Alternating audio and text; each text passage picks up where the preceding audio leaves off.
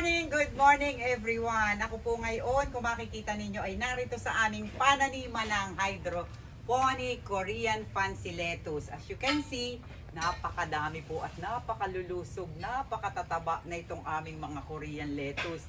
Napakasarap po na ito. Ito kagaya ng romaine lettuce. Yun po yung ginagamit sa mga sangyup, sa salad, iyan. Pero ito po yung kasing lasa ng singkamas. At ito po yung kagabi ay nilasahan ko. Mas marap sa singkamas. Kahit dahon lang po, isasawsaw nyo lang po sa sea salt, ay napakasarap na po. At alam nyo ba ang beneficyo na itong mga lettuce na yan? Yung mga yan. Yan po'y napakainam doon sa hindi makatulog. Yung pong may mga insomnia. Yan. So, kung titingnan nyo po, ito po'y hydroponics. Wala po itong lupa. Tubig laang po. O, ayan po. O, may ugat. Ito po. O. Yan. May ugat po siya.